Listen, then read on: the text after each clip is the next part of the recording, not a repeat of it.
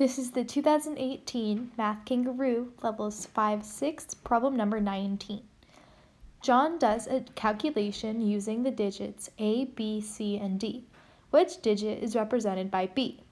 A, 0, B, 2, C, 4, D, 5, or E, 6.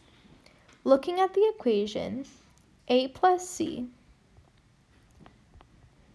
plus a possibly carried over 1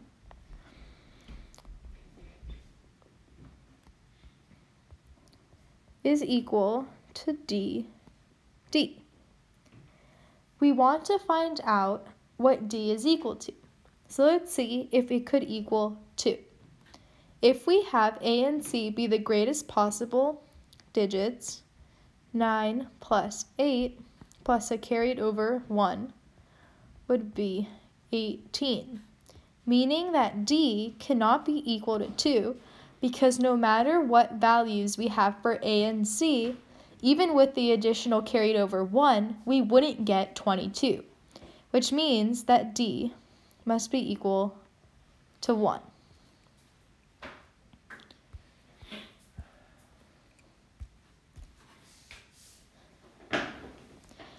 Now we need to see what the sum of A and C are.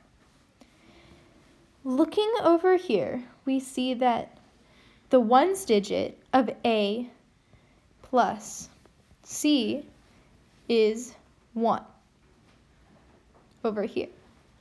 This means that over here when we have A plus C and we have a ones digit of 1 again, that there is nothing being carried over from B plus B, meaning that A plus C is equal to DD over here, which is 11. Because A plus C is 11, over here, a 1 is being carried over to the second column. This means that B plus B plus a carried over 1 from C plus A must be equal to 1, which means that B plus B is equal to 0, meaning B has a value of 0. And that is what the question is asking. This means that answer choice A must be correct.